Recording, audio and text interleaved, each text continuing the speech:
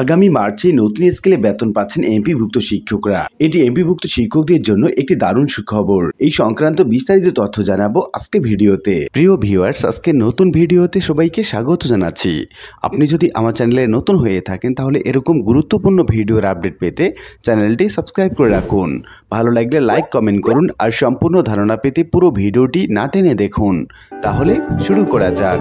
আগামী মার্চ থেকে সারা দেশে এমপিভুক্ত পাঁচ লাখ বেসরকারি শিক্ষক কর্মচারী নতুন স্কেলে বর্ধিত বেতন পাবেন। অর্থ বিভাগ তাদের বেতন ভাতা চূড়ান্ত করেছে। ফেব্রুয়ারি মাসের বেতনের সঙ্গে বর্ধিত বেতন সমন্বয় করা হবে।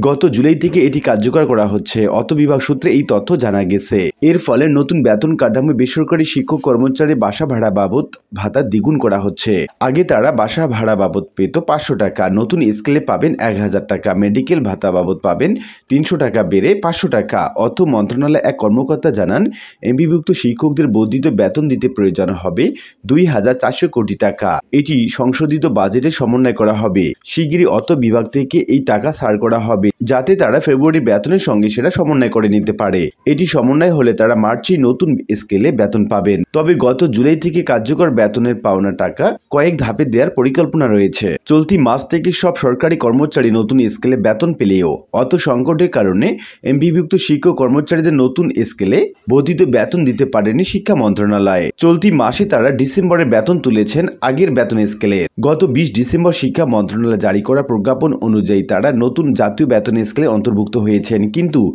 অর্থ মন্ত্রণালয় থেকে তাদের বেতন ভাতা চূড়ান্ত না করায় এই বাবদ বর্ধিত কোনো টাকা ছাড় হয়নি। এই কারণে তাদের বেতন হয়েছে আগের স্কেলে। এরই মধ্যে অর্থ মন্ত্রণালয়, শিক্ষা মন্ত্রণালয় প্রস্তাব পর্যালোচনা করে তাদের বেতন কাঠামো চূড়ান্ত করেছে। গত ছয় জানুয়ারি শিক্ষা মন্ত্রণালয় থেকে অর্থ বিভাগে পাঠানোর প্রস্তাবে বলা হয়, সারা দেশে চার লাখ সাতাত্তর হাজার দুইশো একুশ শিক্ষক কর্মচারীকে নতুন স্কেলে গত বছরে ছয় মাসের অর্থাৎ জুলাই থেকে ডিসেম্বর বকেয়া বর্ধিত বেতন দিতে অতিরিক্ত দুই হাজার চারশো উনসত্তর কোটি সাতাশ লাখ টাকা প্রয়োজন। এর মধ্যে বেসরকারি স্কুল, কলেজ এবং মাদ্রাসার বেতন ভাতা বাবদ দুই হাজার তিনশো তিরাশি কোটি বাইশ লাখ বিরাশি হাজার নয়শো টাকা এবং কারিগরি শিক্ষা প্রতিষ্ঠানের জন্য পঁচাশি কোটি চুরানব্বই লাখ চুয়াল্লিশ হাজার একশো চুরানব্বই টাকা বরাদ্দের প্রয়োজন।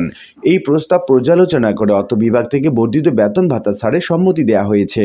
অর্থ বিভাগ সূত্রে জানিয়েছে, নতুন বেতন স্কেলে বেসরকারি শিক্ষা প্রতিষ্ঠানে শিক্ষক কর্মচারীদের তেতাল্লিশ দশমিক আট এক ভাগ বেতন বেড়েছে। ফলে এই খাতে সরকারের ব্যয় বেড়েছে বছরে পাঁচ হাজার তিনশো পঞ্চান্ন কোটি চব্বিশ লাখ চুরাশি হাজার তিনশো পঞ্চাশ টাকা। এভাবে সকল গ্রেডের এমপিভুক্ত শিক্ষক এবং প্রভাষক সহ কর্মচারীদের বেতন বৃদ্ধির প্রস্তাব রাখা হয়েছে। আশা করি বিষয়টি বুঝতে পেরেছেন।